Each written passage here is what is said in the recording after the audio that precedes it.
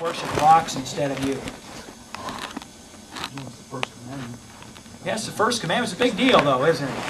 It's a big deal. Think of how, I don't know a better way of putting it, it's just messed up. It is to be the creator of the world and have people prefer to worship a rock. That's an inanimate, worthless object. That would worship you at your command if you wanted it to. That is ridiculous. Yes, sir. Well, it seems stupid, but the Bible also says that, um, I'm not exactly. Romans sure, 1. That, well, it also says that behind those objects were sa- satanic power. So it wasn't just a rock, it was a power behind that that they were worshiping as far as, um, To try to obtain. we, we recognize that these inanimate you know if somebody worships the sun or they worship the moon or they worship whatever their worship or or they worship the the sea or they worship whatever they're what they're they usually had to do something with their culture and what they depended on. Mm-hmm. And so they would worship the god of that thing.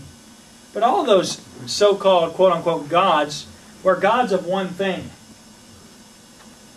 and God Almighty is God of everything. And so they are a, if they were legitimate, and they're not, if they were legitimate, they are just one little thing kind of God. I'm going to tell you something. I can see why you'd be a pagan and need all, need all kinds of gods. Because sometimes it'd be good to have a God of the harvest. And sometimes it'd be good to have a God of the sea. And sometimes it'd be good to have a God of the weather. Sometimes it'd be good to have a God of love. And sometimes it'd be good to have, you know, the God that is a hateful God and needs to be appeased. All these things. But the, the, the funny thing about it is, is that God is more than all of those. He's God, and He's everything. He's a person, and He's, he's everything. And so it's worshiping something that you feel like you have a need of. God, I want to surrender to you. And that's what Romans chapter 1 says. Your, you know, your, your purpose is you want to worship and serve the creature more than the Creator. You've lifted yourself up in your wisdom, and you would rather worship something inferior to yourself so that you can feel like you're just as smart as God or smarter. In other words, man always worships things that are at his level or below. Mm-hmm. Instead of worshiping God who created man and his intellect. So the very intellectual limitations that we have were created by God, which says He's way, way bigger. Way, way smarter. Well, the last one of the last things we looked at last week was the charge that God made against Israel. That's what we really want to focus on this week. We touched on it last week. I want to focus on it that this week. And that is that one of their major sins was that they preferred man's wisdom and man's ways to the truth. They preferred man's wisdom to the truth. And I don't know about you, but I can relate to that.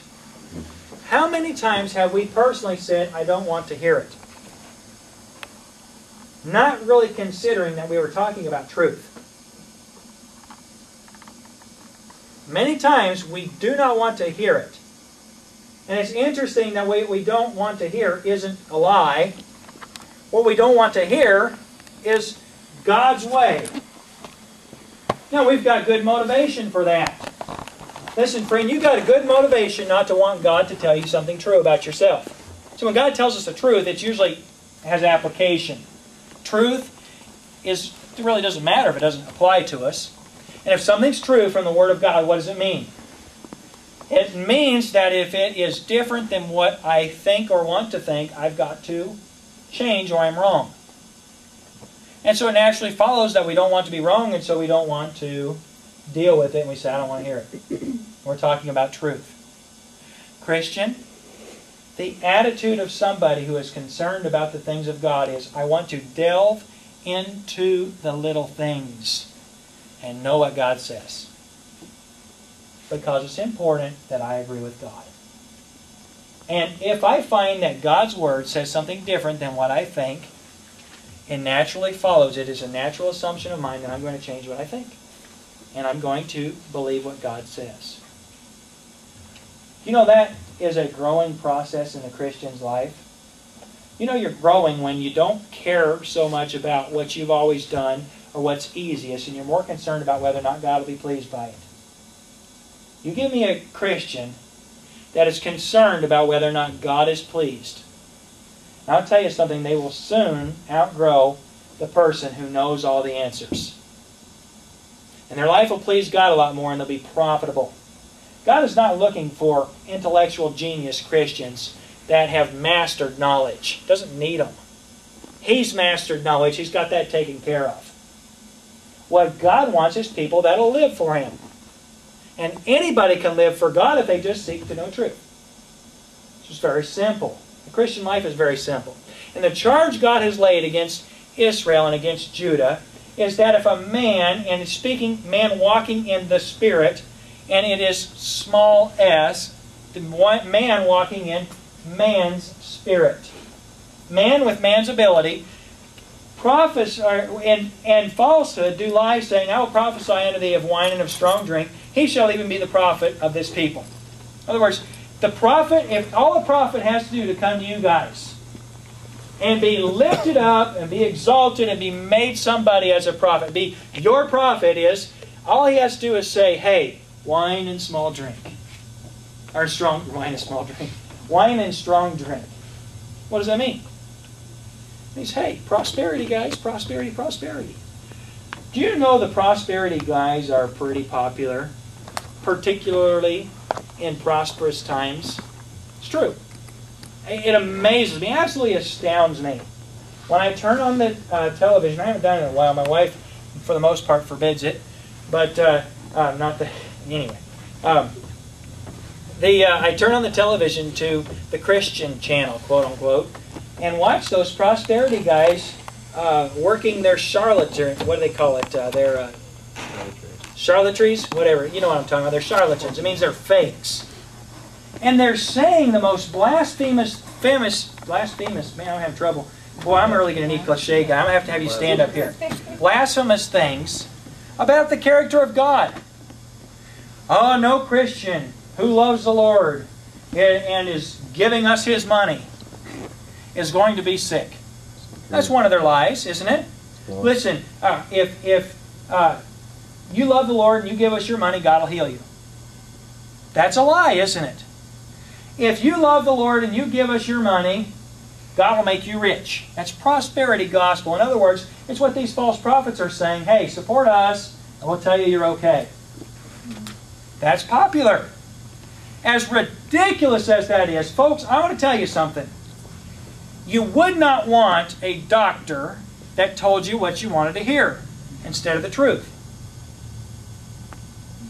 But Israel wanted a preacher that would tell them what they wanted to hear instead of the truth.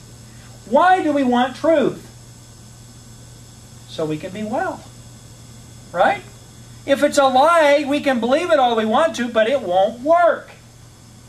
All kinds of Christians are living lives that are a lie. And the problem is it doesn't work. And they can just be as happy as they want to with the message that they're receiving, which works well with their fancies and works well with their desires and whatever else. But folks, what works is the truth. You know the secret to happiness? Truth. You know the secret to real prosperity the Bible way? Truth. You know the secret to the fulfilled Christian life? Truth. Because truth exposes error. What is the source of error that's being exposed? Where's it at? Where's the problem?